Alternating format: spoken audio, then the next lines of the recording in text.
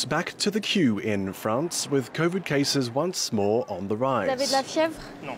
Pas de fièvre. Moi, j'ai de la fièvre. D'accord. Vous pouvez passer en priorité, s'il vous plaît. People here have to wait for 30 minutes before they get their PCR, with more people getting tested as the infection rate goes up. Quand on sort notre série When we look at our PCR test results, positive cases appear in a kind of cloud. Right now, that cloud is very dense and very dark.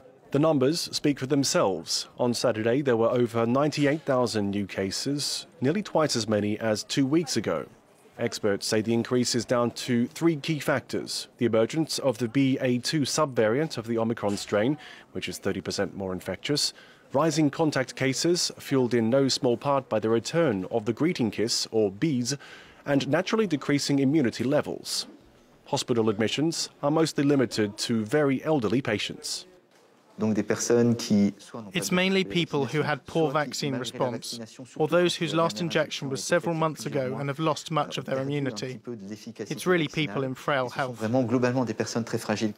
Experts are reluctant to predict the potential scale of this new wave of infections, but they all agree that precautions must be taken.